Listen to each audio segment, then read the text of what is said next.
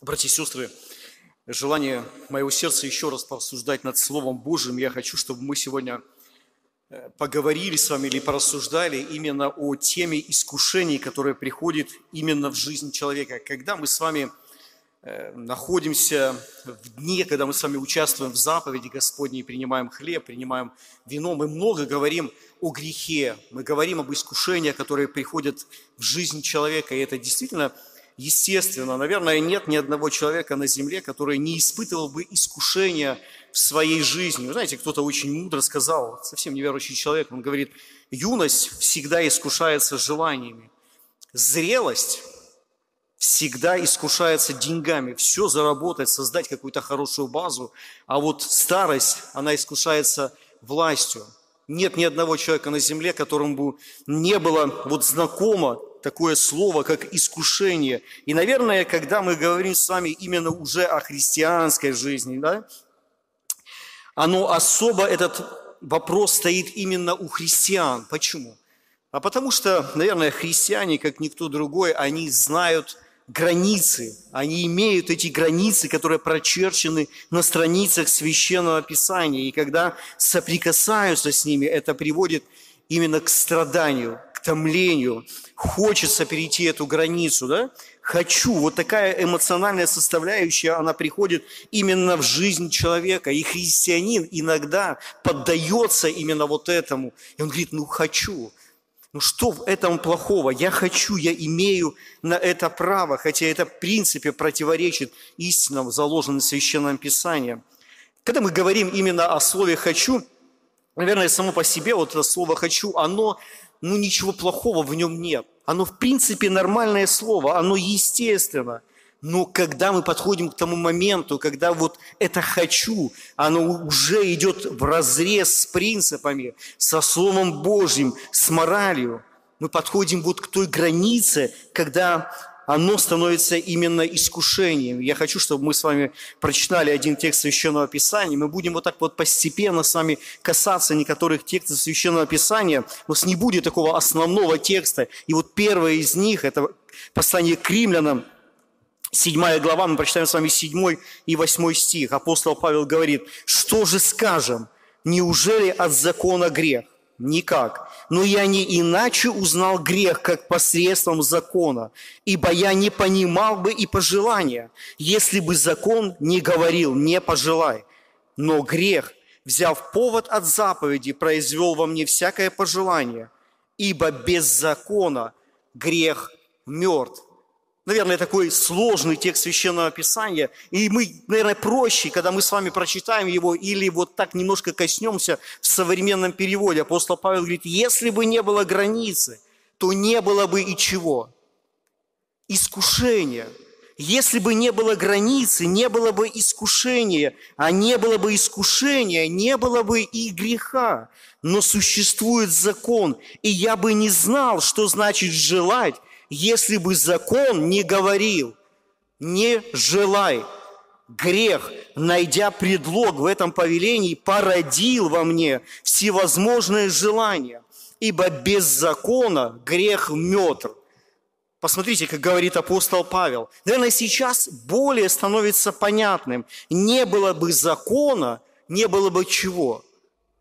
Пожелания, то, что я хочу, я желаю. Не было бы закона, не было бы пожелания. Все, что хочешь, в принципе, делай. Но Бог говорит, есть граница. И когда я, как христианин, соприкасаюсь вот с этой границей, которую прочертил именно Господь, мы страдаем. Потому что мы боремся, переступить ли на самом деле эту границу, или в этот момент явить, как мы говорим, верность Господу. Ничего. Кажется, в этот момент я еще не сделал. Еще нет греха. Все, что у меня есть, оно находится внутри у меня. В мыслях моих. Оно только-только зародилось. Оно еще даже и не произнеслось через мои уста. А это желание уже есть в сердце. И оно приводит именно к страданию. И мы говорим, искушение, оно всегда начинается с чего? С мысли – когда вот это желание, оно зародилось, мысль пришла в мое сердце, пример Каина. у Каина рождается мысль, я хочу убить брата моего. И Бог говорит ему, остановись, остановись, потому что эта мысль, она не может, она может убить тебя. Она не останется вот так просто мыслью в твоей жизни. Если ты дашь ей место, если ты начнешь культивировать ее, она приведет к тому, что ты убьешь брата. Грех лежит у порога сердца. Не делай этого. Поэтому, когда мы смотрим на искушение, Библия говорит, что у нас есть два, как мы говорим, источника искушения, или две природы именно искушения. Первый – это наша с вами природа. Это то, что живет внутри нас. Библия говорит, что у нас есть жало греха. А грех, он как магнит. Он притягивает к себе, и мы постоянно испытываем это желание – Яков говорит, каждого человека искушают его же собственные желания. Они увлекают его, они соблазняют его. И первая проблема, она кроется именно в нас, внутри нас. Мы сами по себе опасны, в нас есть вот этот, как мы говорим на основании Священного Писания, зародыш греха, который живет внутри нас – и он может в любой момент, в принципе, всплыть в нашей жизни. Апостол Павел в первом послании к Коринфянам, в 10 главе говорит, вас постигло искушение не иное, как, как там сказано, как человеческое. Именно человеческое. Все мы имеем в себе вот это проклятие именно искушения. Нет такого человека, как мы говорили, который сказал бы, я не знаю принципе, вот искушение, оно незнакомо для меня, я никогда не испытывал его. Мы не найдем с вами такого человека. Нет, у каждого оно свое. У кого-то это деньги, у кого-то, опять же, это может быть тщеславие, это может быть украшение, это может быть объедение, пьянство, что угодно. Священное Писание открывает нам много вот этих сфер, где мы можем быть уязвимы или искушаемы. Сатана очень четко знает, что близко именно нашему сердцу, именно что мы, как, если можно так выразиться, можем, в принципе, в нашей жизни именно клюнуть. Дьявол найдет все, что угодно, только бы отвлечь нас именно от Бога. Первый, как мы говорим, источник искушения – это мы сами – это наша с вами природа, которая есть у нас. Она, в принципе, склонна к искушению, но есть еще и второй источник. А второй источник искушения – это уже то, что, в принципе, опять же, стоит рядышком с нами – кто-то говорит, это может быть даже Бог. Он хочет, чтобы мы, может быть, воспитывались, поэтому подкидывает вот такие различные сложные моменты жизни. Он искушает нас. У человека природа такая, в сложные моменты жизни человек говорит, Боже, почему ты это делаешь, почему происходит, почему ты допускаешь это? Мы говорим, что это, наверное, неправильно. Апостол Иаков говорит в первой главе, когда же вас постигает искушение, не говорите, Бог меня искушает. Вот этот наш крик отчаяния, когда мы говорим, Боже, ну что, за что это, почему ты это допускаешь? Оно не имеет места, потому что это не Бог. Мы имеем свидетельство тому в разных мелочах, как Бог приходит на помощь. Именно вот в те моменты, когда мы действительно искушаемы, и кажется в этот момент, ну вот вот те моменты, которые хотелось бы изменить. И мы смотрим, что это, в принципе, было благословение, потому что и вот в этих сложных моментах жизни Господь пришел на помощь. Он помог мне. В Евангелии от Матфея мы читаем в 4 главе. Кто же такой вот этот, который искуситель? Его природа именно искушение. Он пришел когда-то к Иисусу Христу. Помните, Евангелие от Матфея, 4 глава, с 1 стиха мы читаем. «Затем Дух повел Иисуса в пустыню для искушения от лукавого. И написано, что искуситель приступил к нему. Братья и сестры, искуситель – это тот, кто толкает нас, кто создает нам на самом деле вот эти сложные моменты, чтобы мы надломились. И чтобы мы с вами в нашей жизни сказали, ну где же тут нам Бог помогает? Я не вижу вот в этих обстоятельствах моей жизни, чтобы Бог пришел на помощь мне. Это делает лукавый. Помните, он подошел к Иисусу Христу. И как искусно он подошел к нему, он говорит ему, что ты тут, если можно так выразиться словами, что ты тут голодаешь? В принципе, уже прошло 40 дней мучения. Возьми вот этот камень. Ты же легко можешь сделать его именно хлебом. Говорил Искуситель Иисусу Христу. Похули Бога и умри. Опять же, это говорил искуситель Иову, и он использовал для этого, помните кого? Уста жены его. А потом Петр подходит к Иисусу Христу, и он говорит, да не будет этого с тобою по отношению к Иисусу Христу. Это опять же искуситель через уста Петра вот этот второй источник искушения, это искуситель, враг душ человеческих, это сатана, который двигает, который постоянно находится вот в таком напряжении для того, чтобы мы с вами были уязвимы, для того, чтобы искусить нас, и мы поддались, чтобы мы сломились в нашей жизни. Хочется привести несколько примеров из жизни э, царя Давида. Мы очень часто с вами касаемся истории его жизни, и вы знаете, он очень многое прошел в своей жизни. У него был в жизни момент, когда он действительно поддался искушению плоти, как мы говорили уже, и искушению именно сатаны. Помните, то искушение, вот искушение плоти, что это было в жизни Давида? Мы уже слышали с вами сегодня вот этот псалом покаяния, 50-й псалом Давида, да? Это история именно с Версавией. Мы нигде не читаем, что это вот в момент искушения у Давида, что это пришел сатана, и он начал искушать именно Давида. Нет, это было искушение плоти. Мы все с вами помним эту историю, мы не будем ее перечитывать, мы прекрасно знаем ее. Но хочется обратить вот такое внимание, я думаю, мы помним те моменты, которые были присущи именно вот этой истории, и мы возьмем такие уроки, с чего начинается именно искушение плоти. Помните, в тот момент написано, что Давид остался один. Он остался, он не пошел на войну. Он остался именно дома, он не пошел на войну.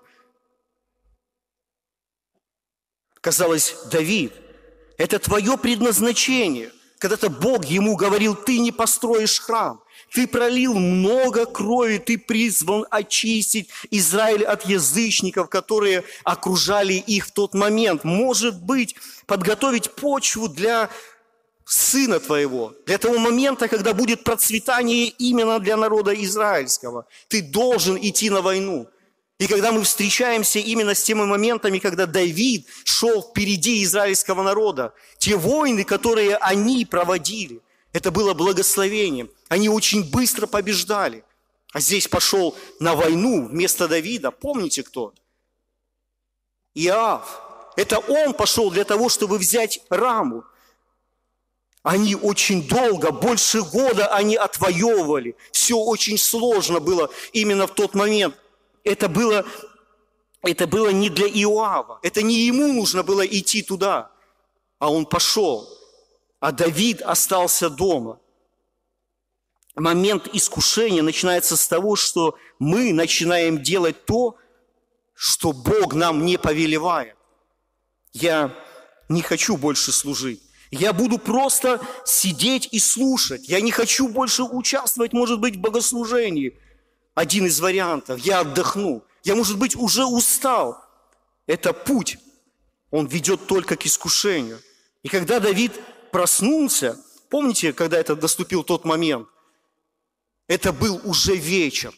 Написано, что Давид встал однажды под вечер – Наверное, это не присущее состояние именно для Давида. Ведь когда мы с вами встречаемся именно с историей жизни Давида, мы видим псалмы, которые он написал. Он, Давид, именно с раннего утра. Он говорит, я ищу лица Господня. Он просыпался рано утром, он говорит, стану, буду насыщаться образом Твоим.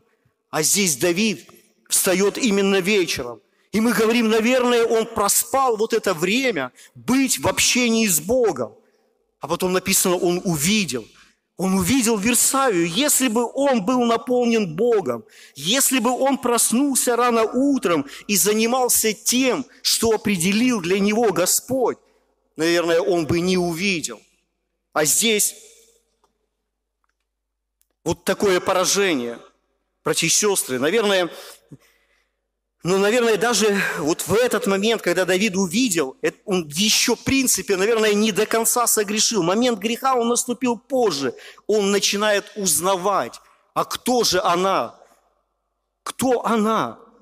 Ему говорят, это жена Урии. Урия был один из лучших воинов, который сейчас именно был или находился в сражении. Мало того, это дочь Елиама. Елиама – а кто такой Елиам? Мы читаем, что этот человек входил в 30 лучших воинов Давида. Это те, которые были с Давидом в самом начале, когда он еще, когда они его поддержали, когда были сложные, тяжелые моменты его жизни. А еще более, она была внучка Ахитофела. Помните, кто такой Ахитофел? Это самый мудрый советник Давида, который потом из-за обиды, он перейдет на сторону Авесолома. Братья и сестры, столько границ, которых нельзя было в тот момент переходить именно Давиду. Казалось бы, его все останавливало в тот момент. Давид, остановись. Но он не может. Вот эти границы в его жизни, они уже не работают. Он теряет мудрость. И позже его сын Соломон, он напишет, что мудрость – это страх Господень. Именно искушение приводит к тому, что мы теряем вот этот страх пред Господом. Мы прячемся, делаем вид, что Бога нет, и мы сами, в принципе, способны решить любую ситуацию. Давид вот так чисто по-человечески, он смог ее решить только убийством именно Урии. Господь, сохрани от этого. Мы говорим именно вот в этот момент, потому что понимаем, что только Господь, только Его мудрость, которую Он влагает, она способна провести нас. Она способна не ввести нас в вот эти искушения, которым мы можем поддаться, поддавшись именно плоти нашей. Это искушение плоти. У Давида было искушение от лукавого. Жизнь Давида. Может, кто-то помнит, где оно было? Какой момент его жизни у него было искушение от лукавого. Написано, когда было исчисление Израиля. Помните, 1 Паралипоменон, 21 глава. Написано, что восстал сатана на Израиля и возбудил Давида сделать исчисление Израиля. Даже Иоав, военачальник, у которого была не совсем хорошая репутация, он останавливал его, и он говорил Давиду, это неправильно. Он говорил, да умножит Господь народ свой во сто раз против того, сколько есть. Для чего же требует всего Господин мой? Но помните, что написано? Царское слово превозмогло и пошел Иав. И написано, воспылал Божий гнев. Вот в чем проблема Давида. Вот именно в тот момент мы говорим, что Давид начинает забывать, что сила-то находится в Боге. Помните тот момент, когда Давид, он шел войной против Голиафа. Наверное, он не полагал именно вот основание в том, сколько он на самом деле возьмет камней в свою сумочку. То ли это будет пять камней, то ли шесть, то ли три. Нет, не в этом было основание его. Он понимал, что сила на самом деле в Бога. А здесь он начинает забывать, что сила в Боге, не в воинах, не в колеснице. Вот оно, искушение именно сатаны. И пришел и подтолкнул вот такой мысли, и человек не может остановиться. Он хочет это сделать. Братья и сестры, Конечно, наверное, сейчас самое время нам ответить на вопрос, а как с ним бороться? Как вот с этими искушениями, которые приходят именно в жизнь человека, в жизнь христианина, как на самом деле бороться? В свое время, вы знаете, опять же мы касаемся жизни Давида. Было прекрасное время его жизни, когда он с легкостью это делал. И мы обращаем внимание на его жизнь, мы говорим очень хороший пример, что помогало ему это делать. И первое – это близкие отношения с Господом. Мы уже не раз касались именно вот этих моментов, мы говорим об этом постоянно, и мы продолжаем говорить, потому что это основа, это основание. Если Дух Святой не наполняет мое сердце, я не скажу, греху нет. Я поддамся именно этому искушению. Если нет силы, мы этого не сделаем. Кажется, все очевидно. Человек говорит, и он не раз свидетельствует и говорит, я знаю, что это грех но я не могу остановиться перед этим грехом, потому что у меня не хватает силы. Силы, которая именно у Господа. Где Давид брал эту силу? Мы читаем его псалмы, и мы восхищаемся. Псалом 15. «Я в Тебе, Господи, ищу прибежище и защиты. Я не знаю, что меня ждет, если бы Давид, как мы уже говорили с вами, молился утром, в тот день, когда он увидел Версавию, он бы не сделал этого. Но он спал. Ему некогда было молиться. Мы перечитываем и перечитываем вот эти псалмы Давида, и мы восхищаемся. Он говорит, Господь мой лучший удел. Это давало ему именно силу в борьбе с искушениями. Второе, о чем мы говорим, что помогало ему это сделать, близкие отношения с Господом, а также доверие Господу. Когда он услышал, что Голиаф, Давид, услышал, что Голиаф порочит Бога, и настолько у него была ревность и доверие Богу, что он пошел на войну с Голиафом без меча.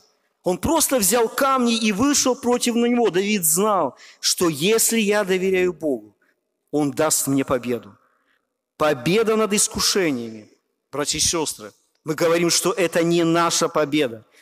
Это победа именно Бога, если мы с Богом и доверяем Ему. Границы – это то, что я не могу переступить. Это то, что помогает мне именно в борьбе с искушениями, именно границы, чтобы они были четко очерченными в моей жизни. Это заповеди Божьи. Бог прочертил их, и мы их не можем переступить. У Давида, опять же, мы касаемся его жизни, тоже была граница, когда он находился в пещере, и туда пришел Саул, от которого он бегал уже почти 10 лет. Те люди, которые окружали Давида, а Веса говорит ему, Бог дает его нам. Представляете, какое искушение именно в этот момент в жизни Давида. Вот твой враг. Ты можешь его в этот момент убить, и ты станешь царем. Вот то, что предлагал ему лукавый, а он говорит, нет, я не подниму руки на помазанника, пусть поразит Господь. У Господа другие пути. Может быть война, может быть болезни, еще что-то, но только не я. Я не смогу этого сделать в моей жизни. Я не переступлю вот эту границу. Знаете, дьявол всегда будет подталкивать переступить переступить эти линии, переступить границы. Чуть-чуть, хоть немножко, хоть совсем немножко.